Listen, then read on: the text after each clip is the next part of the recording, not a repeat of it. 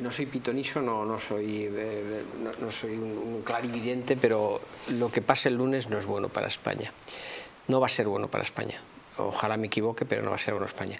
Si él desiste de su intención primaria, eh, de primigenia, de abandonar el poder y se queda, se va a quedar de, una manera muy tocado. Es decir, un presidente jamás ha hecho un planteamiento de estas características de dejar en fijo discontinuo, como dijo el señor Feijó, su presidencia durante cinco días y replanteárselo y pedir a la ciudadanía, tipo eh, Juan Domingo Perón o, el señor, o la señora Kirchner o el propio Chávez eh, que las masas salgan a la calle, como van a salir mañana a las 11 de la mañana en Ferrat, para eh, pedirle por favor que no abandone el, gobierno. Y consecuentemente las trincheras de este país van a ser las más profundas de los últimos 50 años. Bueno, 49, desde que murió Francisco Franco, del año 1975. Eh, las más profundas que hay.